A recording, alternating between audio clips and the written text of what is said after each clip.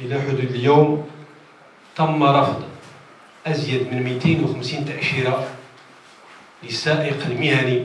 هنا كنهضروا هنا كنهضروا على التأشيرة المهنية. مؤخرا تلقينا مجموعة من الشكايات لدى المؤسسات النقلية بجهتنا وبداخل مقر الجمعية. فإلى حدود الساعة آه، تم رفض أزيد من 250 تأشيرة لدى القنصلية الفرنسية وأزيد من 100 تأشيرة لدى القنصلية الإسبانية. فمن تداعيات ديال هذا ديال هذا الرفض من هذه الإشكالية هو النقص الحاد لدى السائق المهني. يعني كنهضروا على السائق المهني الشوفور بروفيسيونيل لأنه هو اللي عنده تجربة لولوج الأراضي الأوروبية واللي عارف بالسياقة الدولية. الانعكاسات هو أنه الشركات النقليه الوطنية حنا استثمرنا أموال هي كثيرة. في هذا الشأن يعني عندنا عندنا التزامات اتجاه اتجاه السائق عندنا التزامات مع البنوك عندنا التزامات مع الضمان الاجتماعي عندنا التزامات مع الشغيلة ديالنا. يعني غادي هذا غادي يأثر على الشركة النقلية. اما بالنسبة للاقتصاد أو المنتوج الوطني كتعرفوا كاملين حنا دابا في بداية الموسم التصدير الفلاحي في اتجاه الدول الأوروبية. فالفلاح استثمر أموال كثيره كثيرة بزاف. فهنا كيطرح المشكل ديال النقل. في شكون هذا اللي غادي يوصلها؟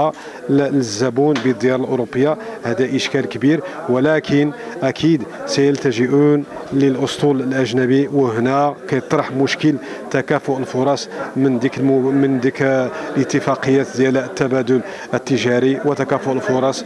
هنا كيتضرر الشركة النقلية الوطنية بصفة عامة.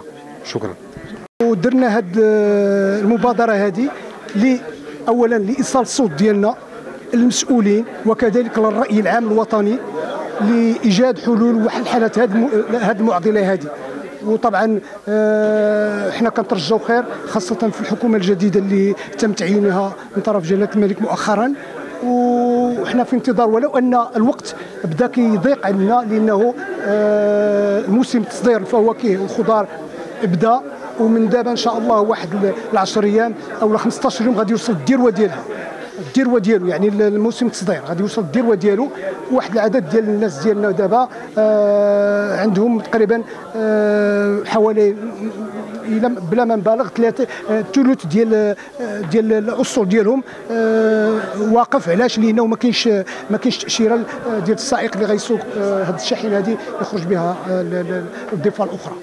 كيديروا مبررات لا علاقه لا علاقة لها بالواقع لأنه كيقول لك مثلا ظروف الإقامة غير واضحة أو لا غير آه، آه، غير مفهومة. وحنا كنعرفوا بأنه السائق راه كيعيش في الشاحنة ديالو. الشاحنة ديالو مجهزة من الكل. وهي طبعا بهذه الظروف ديال العمل ديالو هي نفس الظروف اللي كيعمل فيها السائق الأوروبي. كاين عنده فراشو في, في الكناس عنده ثلاجه ديالو فين كيدير المأكولات ديالو عنده petite cuisine يعني آه، ظروف العمل اللي هي آه، مطابقة لما هو آه، متعارف عليه في أوروبا. يعني ما كيحتاج لا أوتيل لا auberge لا حتى حاجة. وبالنسبة la prise en charge وهذا راه السيد راه كيمشي عنده حتى بالنسبة للمصاريف ديالو عنده دايرين لهم les cartes Visa إلا خصو المازوت يزيد بال carte Visa ال parc يخلصوا بال carte Visa يعني آه، هذا غير آه، كما قلت لك آه، مبرر واهي لا علاقة له بالواقع.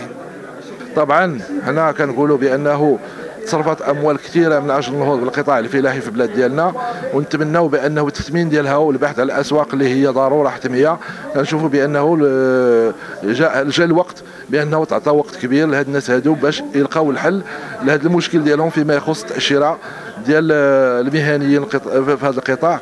باش المنتوجات الفلاحيه تمشي بسلاسة من من, من المنتج ولا كذلك توصل إلى أسواق خارجية وكذلك لا ننساو شيء بانه راه كتلعب دور كبير في جلب العملة الصعبة. ونتمنوا الوزارة الوصية تأخذ بعين الاعتبار هذا المشكل هذا وتدخل فيه لأنه إحنا في بداية الموسم ديال التصديرات ديال الصادرات ديال المنتوجات ديالنا الفلاحية يعني أنه الدروه من هنا على الاقل من هنا لشهر 11 يعني هنا 30 يوم تقريبا غادي تكون الدروه إن شاء الله. ونتمنوا التوفيق لجميع الفلاحة وإنما ناخذوا بعين الاعتبار بأن يكون المشكل هذا كبير لازم تدخل في أسرع وقت. قبل ما تخرجوا ما تنساوش تابوناو في العشرين فبراير وتابعونا على المواقع التواصل الاجتماعي.